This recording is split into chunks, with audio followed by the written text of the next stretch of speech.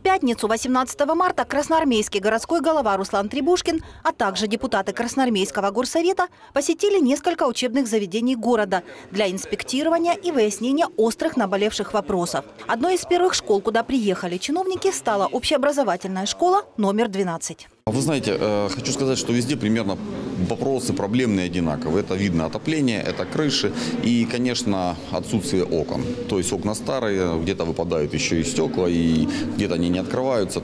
Э, Огромная потеря отсюда тепла, мы понимаем, откуда перерасход. Э, Поэтому в первую очередь будем решать самые проблемные вопросы, связанные с энергоэффективностью. Это окна, двери для того, чтобы можно было экономить тепло. Креслили ряд питань, звернулися по допомогу. Це покрівля, це заміна вікон, це підлога, яку потрібно провести. Ну і, звичайно, енергозберігаючі технології. Все це взято до уваги, і ми надіємося на вирішення наших питань. Каждому учебному заведению будет выделено от 100 до 500 тысяч гривен для решения первоочередных вопросов.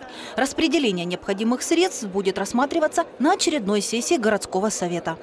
Впервые за многие годы в городе появился хозяин, который, который вот собрал депутатский корпус и начинает шевелить общество. В народе говорят, под лежачий камень вода не тече.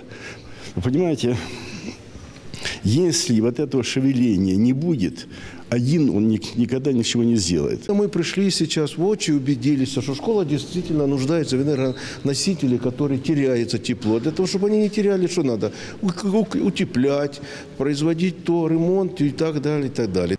После общеобразовательной школы номер 12 Руслан Валерьевич отправился с визитом в Красноармейскую многопрофильную гимназию. Мэр отметил, что это заведение имеет отличный внешний вид. Здесь установлены энергосберегающие окна, поэтому основной вопрос, в решении которого необходима помощь – это отопление. Для того, чтобы в течение года оно все-таки служило э, всего отопительного сезона качественно, потому что периодически здесь бывают э, порывы и приходится его ремонтировать.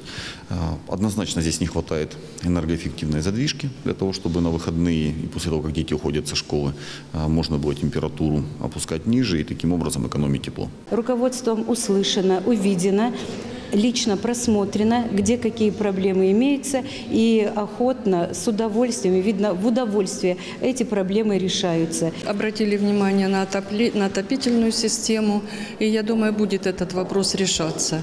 Он один из э, главных сегодня у нас. Вот, очень много делают родители, и на сегодняшний день мы поэтапно делаем ремонты каждый год, но есть вопросы, которые, конечно же, требуют больших вложений. После таких визитов городской властью определены самые острые вопросы школьных учреждений. И теперь будут выделяться необходимые средства для их решения.